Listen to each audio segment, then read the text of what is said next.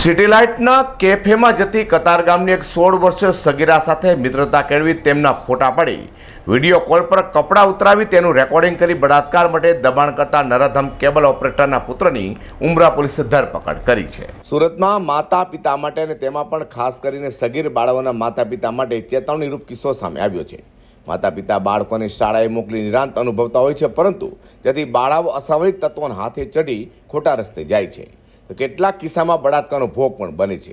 ત્યારે આવી જે ઘટના સામે આવી છે, વાત છે ઉમરા પોલીસ મથક વિસ્તારની. ઉમરા પોલીસ મથકમાં કતારગામ ખાતે રહેતા પરિવારે નોંધાયેલી ફરિયાદમાં જણાવ્યું હતું કે તેઓની સોળ વર્ષની સગીર બાળા શાળાએથી બપોરે રિસર્ચ સામે સિટીલાઇટ ખાતે આવેલા એક કેફેમાં બેસવા જતી હતી.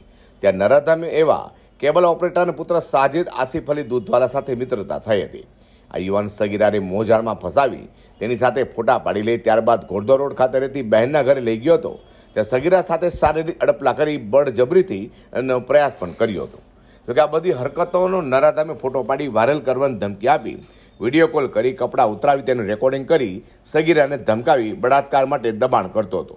આખરે ઉમરા પોલીસમાં ફરિયાદ લઈ નરાધમ એવા સાજિદ આસિફ અલી દૂધવાલાને ઝડપી પાડી સળિયા પાછળ ધકેલી દીધો છે. અઝર કુરશી સાથે હર્ષદ સિટા